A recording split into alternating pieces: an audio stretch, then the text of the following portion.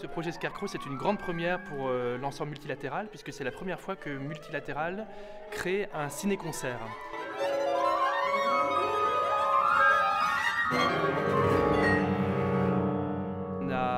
Choisi peut-être un des réalisateurs les plus emblématiques euh, du cinéma, du cinéma américain, mais du cinéma en général, donc Buster Keaton. Et on a fait appel à un compositeur absolument euh, génial pour euh, la musique à l'image, puisqu'il a une grande expérience, c'est le compositeur Martin Matalon.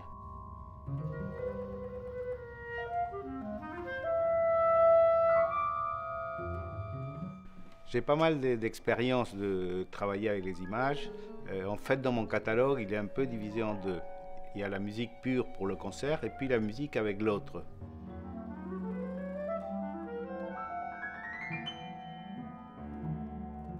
Il y a l'autre, alors il faut travailler euh, trouver des, atmosphères, trouver des points de rencontre, euh, laisser l'espace pour que l'image, dans ce cas, elle progresse, et d'autres que, que, la musique prend le dessus. C'est-à-dire un vrai travail de contrepoint entre image et musique.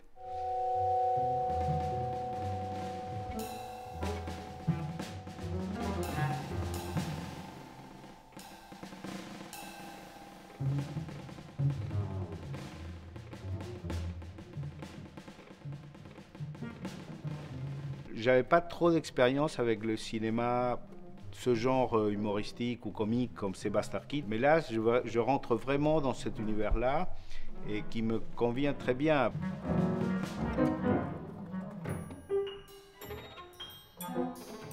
Les images nous donnent énormément d'éléments que ce soit le, rythme du montage ou que ce soit le travail sur les ombres et les lumières, le, contenu euh, humoristique. Euh, il y a énormément d'informations et le compositeur doit choisir qu'est-ce qu'il fait avec cette information. Est-ce qu'on la suit, est-ce qu'on fait le contraire Est-ce que justement, si on, fait on prend le contre-pied de ce que l'image dit, l'idée sort enrichie Alors c'est tout ce genre de choix qu'on doit faire à chaque moment.